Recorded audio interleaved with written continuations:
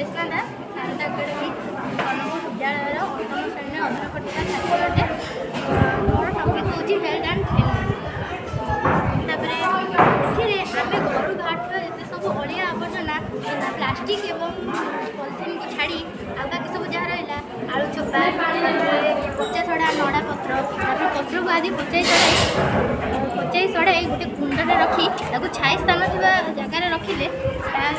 ଜିଆ ଦ୍ୱାରା ଆମେ ବର୍ମି କମ୍ପୋଷ୍ଟ ପାଇପାରିବା ଯାହାକୁ କି ଗଛ ମୂଳରେ ଦେବା ଦ୍ୱାରା ଆମେ ସେ ଗଛ ଭଲ ବଢ଼ିଥାଏ ଏବଂ ସେଥିରୁ ମଧ୍ୟ ଫଳ ଖାଇବା ଦ୍ୱାରା ଆମ ଶରୀର ମଧ୍ୟ ସୁସ୍ଥ ରହିଥାଏ ତାପରେ ଏପଟେ ଯୋଗ ଯୋଗ କରିବା ଦ୍ୱାରା ପ୍ରଥମତଃ ଆମ ରୋଗ ଶରୀରର ରୋଗ ପ୍ରତିରୋଧକ ଶକ୍ତି ବଢ଼ିଥାଏ ତାପରେ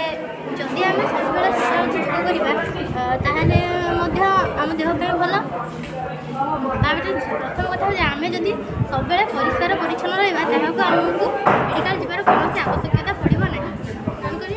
ଆମେ ସବୁବେଳେ ପରିଷ୍କାର ପରିଚ୍ଛନ୍ନତା ରହିବା ପାଇଁ ଚେଷ୍ଟା କରିବା ବ୍ୟବହାର ଗଛ ମୁଣ୍ଡରେ ଦେଲେ ସେଇଟା ବଢ଼େ ଆଉ ସେଥିରେ ଫଳ ଏଇଟା ପ୍ରାକୃତିକ ହୋଇଥିବାରୁ ସେଥିରେ ଫଳ ପଡ଼ିଥାଏ ତାକୁ ଖାଇଲେ ଆମ ଶରୀର ମଧ୍ୟ ସୁସ୍ଥ ଆମେ ନିଜେ ବି କମ୍ ଖର୍ଚ୍ଚରେ ତିଆରି କରିପାରିବା ଅର୍ଗାନିକ ଫୁଡ଼୍ ମଧ୍ୟ ପାଇପାରିବା ଯେ ରାସାୟନିକ ସାର ଯେତେ କମ୍ ବ୍ୟବହାର ସେତେ ଭଲ ନା ଆରେ ଏସବୁ ଲୋକ ଏଠି କ'ଣ କରୁଛନ୍ତି ବ୍ୟାୟାମ କରୁଛନ୍ତି ବା ତାକୁ ଆସନ କଲେ ତ ଠିକ୍ ହେବ ନା ଆସନ ନା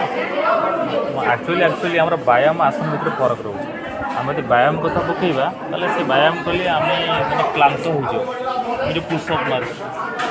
ଦଣ୍ଡ ବୈଠକ ମାରୁ ତାପରେ ଆମେ ଆମକୁ କ୍ଲାନ୍ତ ଲାଗିବ କିନ୍ତୁ ଆମେ ଯଦି ଯୋଗାସନ କରିବା ଆସନ କରିବା ସେଥିରେ ଆମେ ଆମ ଶରୀରଟା କ୍ଲାନ୍ତ ଲାଗିବ ନାହିଁ ତା ଭିତରେ ଫରକ ହେଉଛି ହେଲା ଆଚ୍ଛା ଆସନ ଯେଉଁ ଆମର ଯେଉଁ আসন কহিলে তো খালি ঠিক হবনি যোগাসন কহিলে বেশি ঠিক হব আন্তর্জাতিক যোগ দিবস কেউ তারিখে পালন করা যায়